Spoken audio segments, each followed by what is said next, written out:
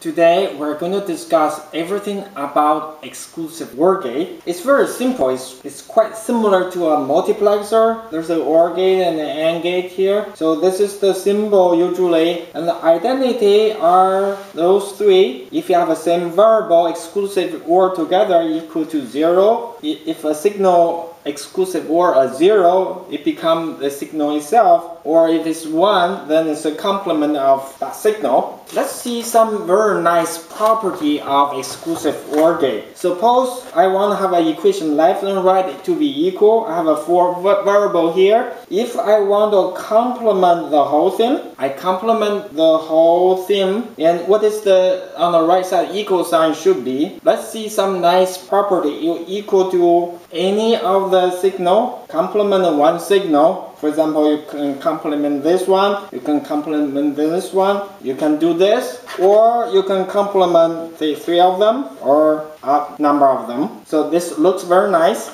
Another application of exclusive OR gate is Suppose you want to build an adder, so the sum of the two operand A and B plus the carry in is the sum, exclusive OR of all three of them. Suppose you already have a full adder. How do you build subtractor? This is very simple. You have a exclusive OR gate for each of the bits inside the B and you have a line here called subtract. So if you connect this way, this become either or adder when the signal to be 0 or subtractor when the signal is to be 1. Let's see. If you have a 0, 0 means you have no carry. And remember the identity we have when we have a 0. When we have a 0, the signal becomes itself. That means the sum is A and B. A add B. Suppose the subtractor is 1. If the subtractor is 1,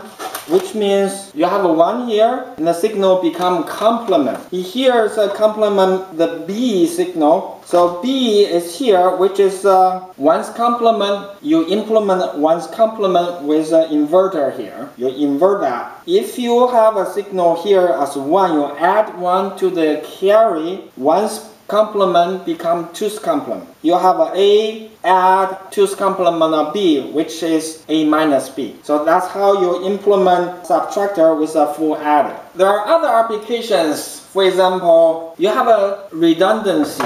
You can use uh, exclusive OR. Suppose we want to transmit A and B two signals and go through a long line, noisy line.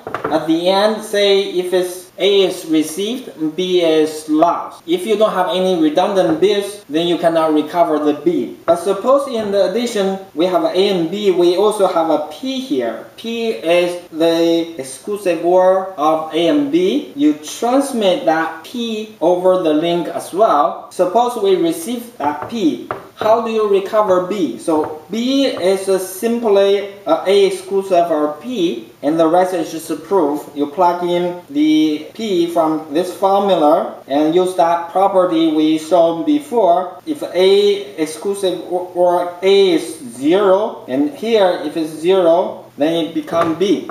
This is very simple parity. You send the parity over the link. There's some more complicate other algorithm like ECC and checksum and so on. They all use this property. There's a, another way you can use this. This is more software. Software say if I want to swap x and y without using any other temporal variable. This is how you do, this is a step one, two, three. At the, the end of step 3, a x and y are swapped. And notice I never introduced any intermediate variable. What else can you say about exclusive OR gate? Here is Venn diagram. This is very basic. So you have A and B, they both each a circle. On the center, the white color is the AND function. And the overall whole thing is the O function. So the right color is exactly exclusive A and B. If you have a three variable, that will look like this. It's nothing special.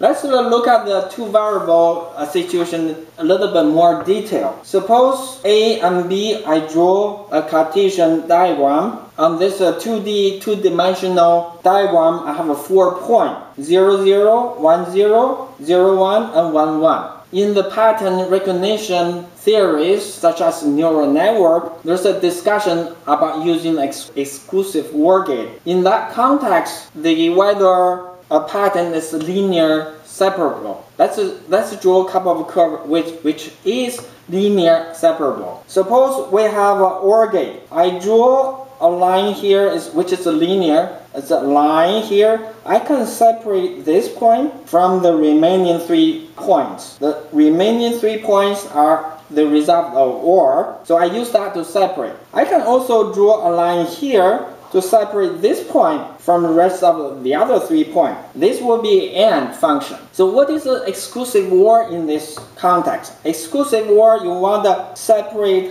these two with the other two. So look at this diagram. You cannot have a linear line which is linear. You cannot have a linear separable uh, function to classify those two points because one linear line cannot separate those two points from those two points. In neural network, it develops multi-layer perceptron. In the higher layer, you can separate those two points from the diagonal two points. There are many, many other application for the exclusive OR gate. For example, if you want to do a hash, the exclusive OR is unbiased, 50% compared to the OR and uh, AND function the exclusive OR gate is unbiased. So suppose there are three functions we, we try to implement and we apply a lot of time is consecutive number like a 0 or 1 and when you have something idling you know you could send this signal